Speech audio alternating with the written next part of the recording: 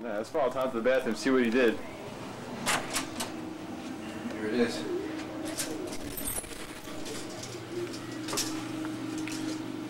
What we have to do is just fucking clean up what we can, and then, um, when we leave here, leave a note for housekeeping, the toilet does not flush. Why, why did this happen? It must have been something to do with the French dip last night. Don't worry.